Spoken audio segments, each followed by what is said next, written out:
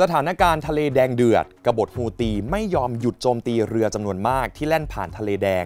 หนึ่งในเส้นทางการขนส่งที่สำคัญที่สุดในโลก เศรษฐกิจโลกอาจได้รับผลกระทบมากกว่าที่คิด หลังบริษัทขนส่งสินค้า และบริษัทขนส่งน้ำมันยักษ์ใหญ่ ประกาศระงับการขนส่งผ่านเส้นทางดังกล่าว ด้านรัฐบาลสหรัฐ ลงดาบครั้งสำคัญ ประกาศชัด จัดให้กลุ่มกบฏฮูตีในเยเมน เป็นกลุ่มองค์กรผู้ก่อการร้ายระดับโลกที่ถูกหมายหัวเป็นพิเศษ สวัสดีครับ นี่คือรายการ The World ชนโลกกับโจชลวิทย์สรุปประเด็นข่าวสำคัญรอบโลกใน 5 นาที รัฐบาลสหรัฐประกาศอย่างชัดเจนนะครับ บอกว่าให้กลุ่มกบฏฮูตีในเยเมน เป็นองค์กรผู้ก่อการร้ายระดับโลก ที่ถูกหมายหัวเป็นพิเศษอีกครั้ง ภายหลังจากที่กองทัพสหรัฐนะครับได้โจมตีเป้าหมายกลุ่มโฮตีในเยเมน เพื่อตอบโต้การโจมตีของกลุ่มกบฏดังกล่าว ในพื้นที่ของทะเลแดง การโจมตีโดยกลุ่มฮูตีในทะเลแดงนะครับซึ่งเป็นกลุ่มพันธมิตรของอิหร่าน ตั้งแต่เดือนพฤศจิกายนที่ผ่านมา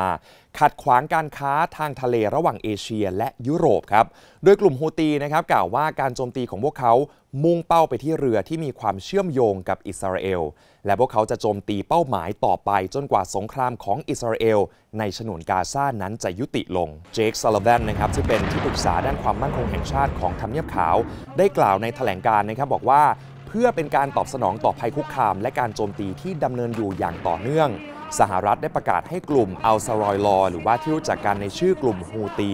เป็นผู้ก่อการร้ายระดับโลกที่ได้รับการหมายหัวเป็นพิเศษ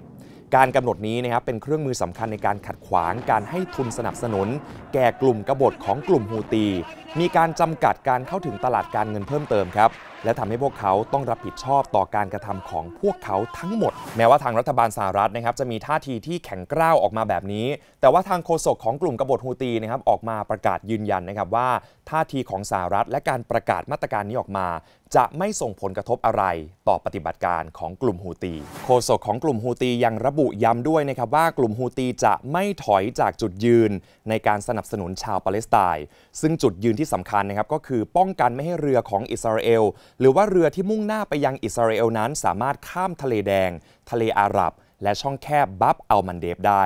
ปัจจุบันนะครับมีความกังวลจากนักเศรษฐศาสตร์และนักลงทุนมากมายนะครับซึ่งมองว่าเศรษฐกิจของโลกในภาพรวมอาจได้รับผลกระทบมากกว่าที่มีการคาดการไว้ เนื่องจากตอนนี้นะครับมีบริษัทรายใหญ่ของโลกหลายรายนะครับที่ทำธุรกิจด้านการขนส่งสินค้า และการขนส่งน้ำมัน เขาทำการประกาศยุติและระงงับการใช้เส้นทางในการขนส่งผ่านทะเลแดงเป็นการชั่วคราวแล้ว เพื่อที่จะเลี่ยงเหตุการณ์ความไม่แน่นอนที่อาจเกิดขึ้น จากปฏิบัติการของกลุ่มกบฏฮูตีนั่นเอง ย้อนไปในสมัยของโดนัลด์ทรัมป์นะครับอดีตประธานาธิบดีของสหรัฐ ในช่วงนั้นนะครับเคยมีการกำหนดให้กลุ่มกบฏฮูตีนะครับเป็นกลุ่มองค์กรก่อการร้ายต่างประเทศแล้วครั้งหนึ่ง แม้ว่ากลุ่มสิทธิมนุษยชน และกลุ่มช่วยเหลือด้านมนุษยธรรม จะมีการคัดค้านการประกาศดังกล่าวอย่างรุนแรงก็ตาม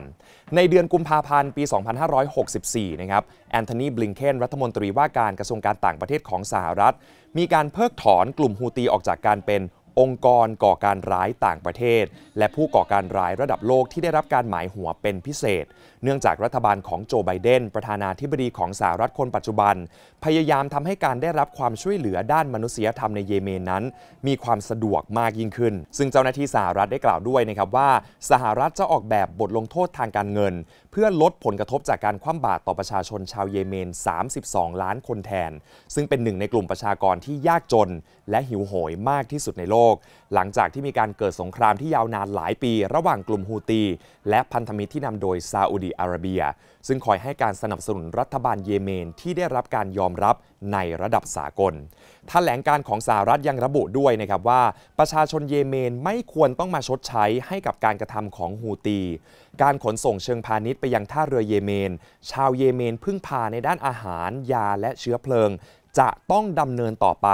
และจะไม่อยู่ภายใต้การคว่ำบาตรของสหรัฐ อย่างที่บอกไปนะครับว่าทะเลแดงคือหนึ่งในเส้นทางการขนส่งสินค้า